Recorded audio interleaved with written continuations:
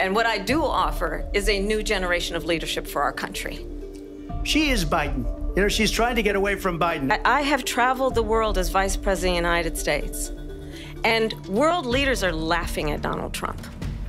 The leaders of other countries think that they're weak and incompetent, and they are.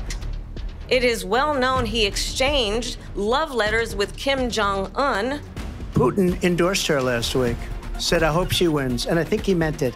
But understand, if Donald Trump were to be reelected, he will sign a national abortion ban. But her vice presidential pick says abortion in the ninth month is absolutely fine. They're eating the dogs, the people that came in. They're eating the cats. They're eating, they're eating the pets. you talk about extreme.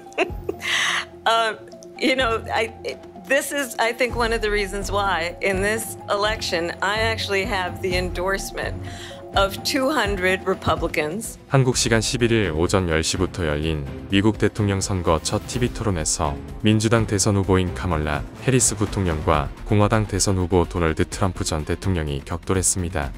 두 후보는 토론 전 악수를 나누며 시작했지만 이후 90분간 경제 낙태권 이민 외교 등 주요 이슈를 놓고 양보 없는 진검승부를 펼쳤습니다. 후보가 된 후 생방송 인터뷰나 기자회견을 하지 않아 사실상 데뷔 전에 나선 해리스는 자신은 새로운 세대의 리더십을 제시한다며 자신의 역량을 부각하는 데 집중했습니다.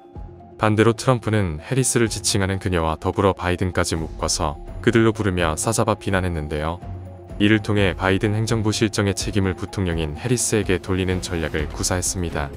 또한 트럼프는 막말 공세도 이어갔는데요.